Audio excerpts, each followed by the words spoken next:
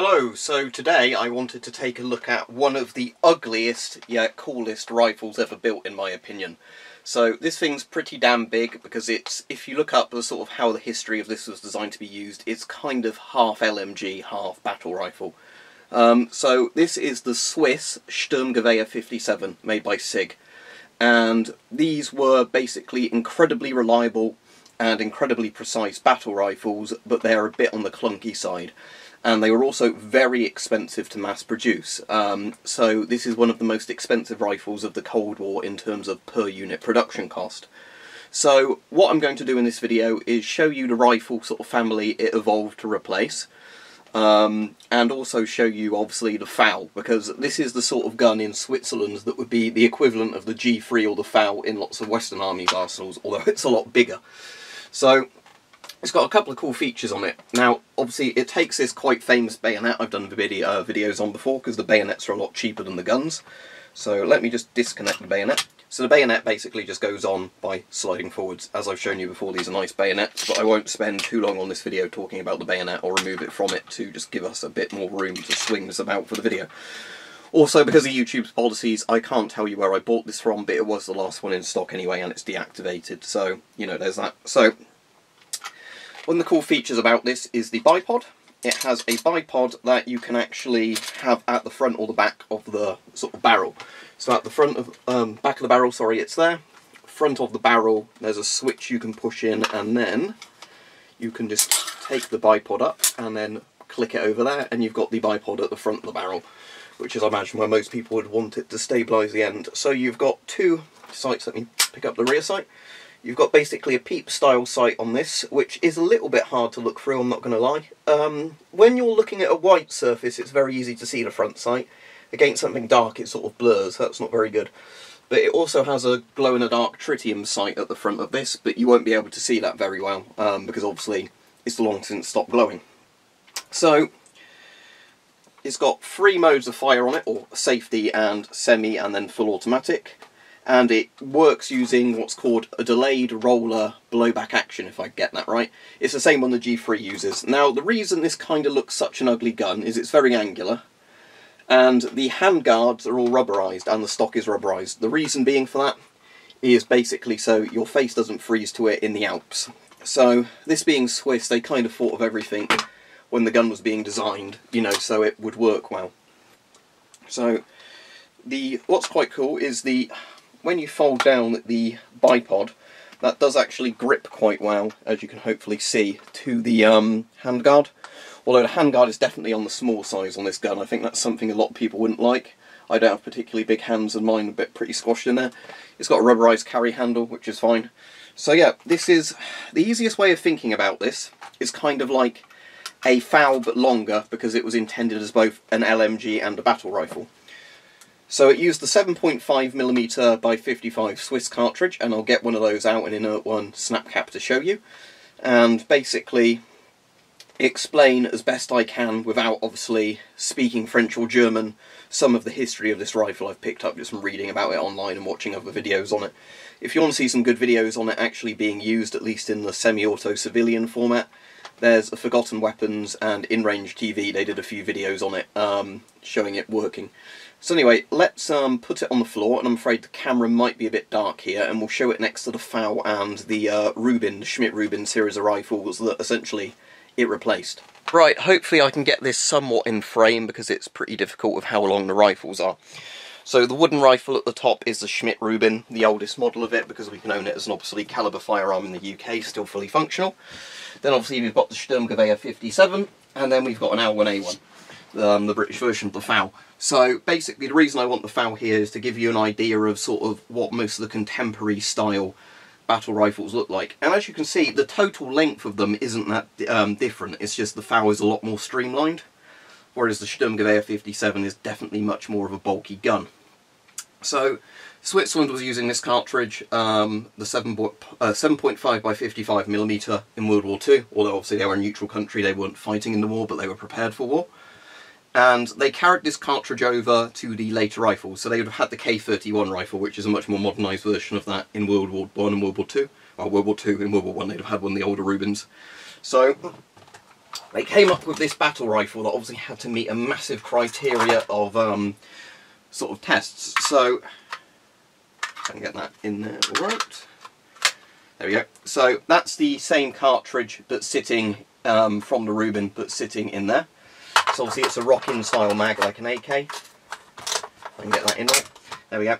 And I'm pretty sure how this is deactivated I won't be able to actually put the um, round into chamber. I'll just try that, but um, it's pretty difficult with, um, yeah, it doesn't pick any rounds up from the magazine, so um, that just sits there.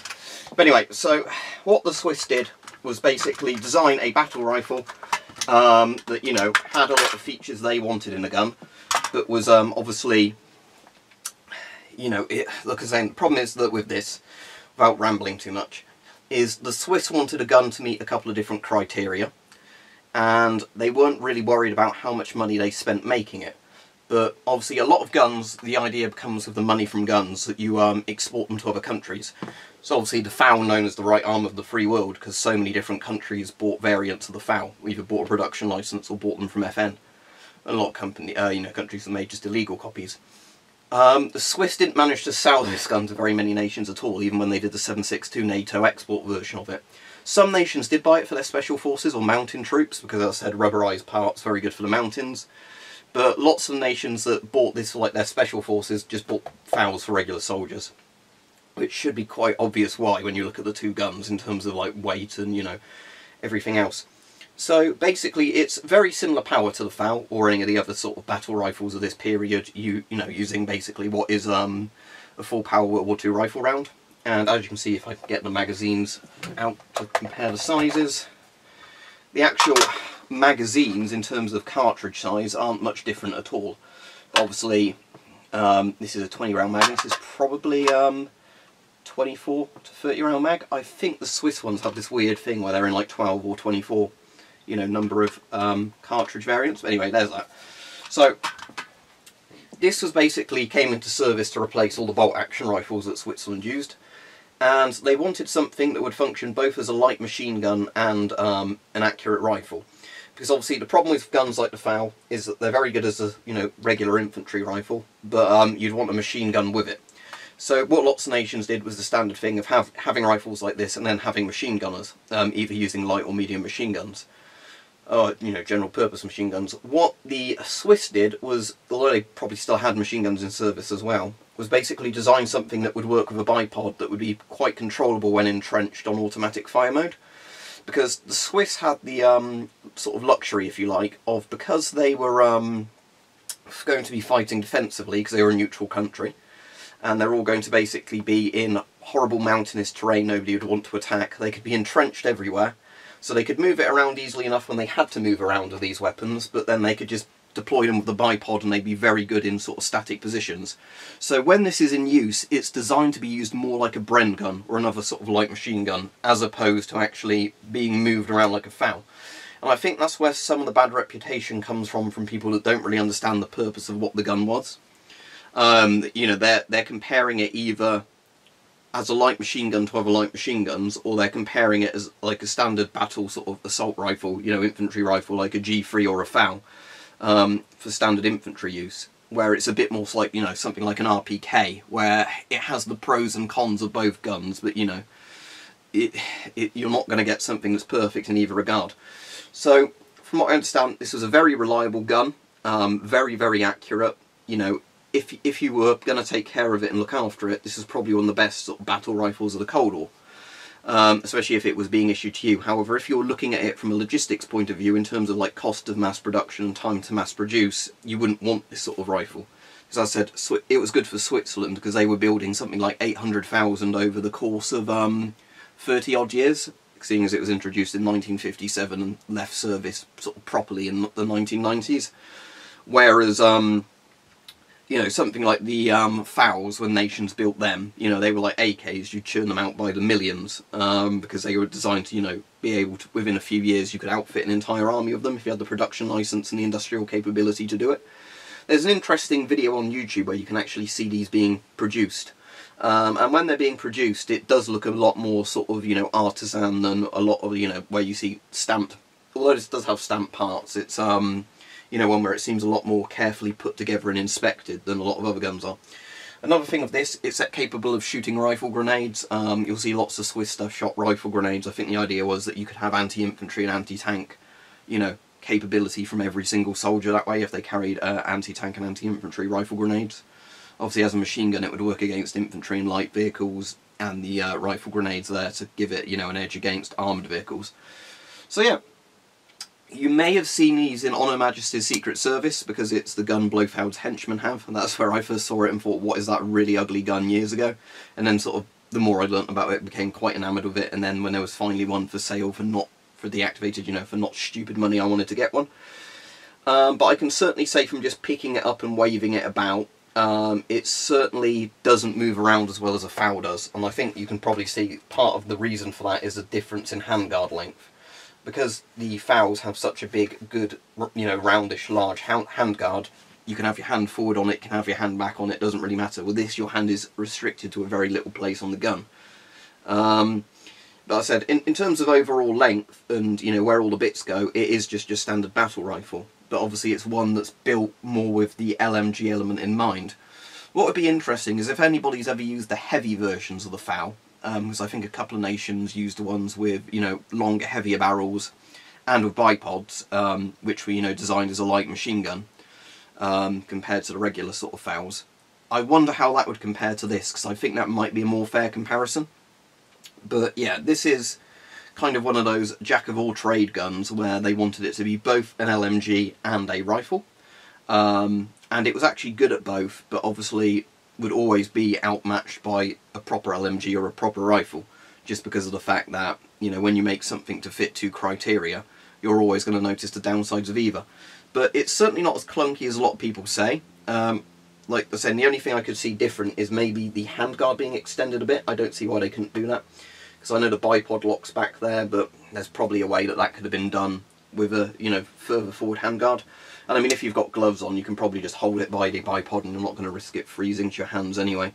But yeah, overall, um, you can tell it's sort of like a more expensive gun to mass produce than something like the FAL. Just looking at the two of them, you can see how that's you know chunkier and got harder wearing parts, and it's very interesting. And you know, it's definitely a form over function gun because when you look at all the bits, you can understand why they built it in that way, even if it looks ugly. Like I say, these rubberized bits, why are they on there to stop your hands freezing to it? You know, it's not something that you'd probably consider, that's why it looks chunky and rubbery. But anyway, so it used the um, Swiss cartridge that they used for a very long time, um, was in the old Rubins, not necessarily the ones of this age, because they had a slightly lower power version of um, sort of a semi-smokeless or smokeless sort of cartridge, but then later on, the later sort of Schmidt-Rubin series went to using things like this in the K31, and then it carried on with this until the end of the Cold War. And I said it's it's a pretty comparable round to something like 7.62 NATO. You're going to get very similar performance out of them. Um, but yeah, if you're interested in sort of one of the more obscure and ugly looking Cold War rifles, um, this is definitely one to pay attention to. One last thing before I end the video, which is really interesting. Let's flick this over. Flick this one over. And look at the um, charging handles if they're both in frame on both guns, because a carryover, which I find quite sort of cute, from, I'll just zoom in on that, from the Rubin, or the sort of, you know, K31 series, whatever you want to call it, Schmidt-Rubins and this, is they use the same charging handles. Both of them have that sort of beer keg handle. And on the later ones, like the K31, they did have the stainless steel looking ones, like that's on the Sturmgewehr. Whereas on the, um, you know, Rubin, it's like the older Bakelite kind of resin one, because that's a gun from, you know, before the turn of the 20th century. anyway, yeah, there you go. Hopefully you found this interesting. And as I said, you know, I find it quite interesting anyway, this sort of thing of, um, you know, a comparison of two similar but different battle rifles, because they are, um, you know, they were designed to fit the same job, but obviously, um, I think most people would agree the FAL is probably, for quite a right reason, the one that caught on better. Because I think the problem when you have these hybrid guns is, unless you're using them like Switzerland did for a very specialised role, where you're essentially building them for a role you want, most nations would want something that's a bit more specialised at one thing, rather than doing several jobs well, but, you know, making it a bit clunkier and much more expensive per unit. But there you go.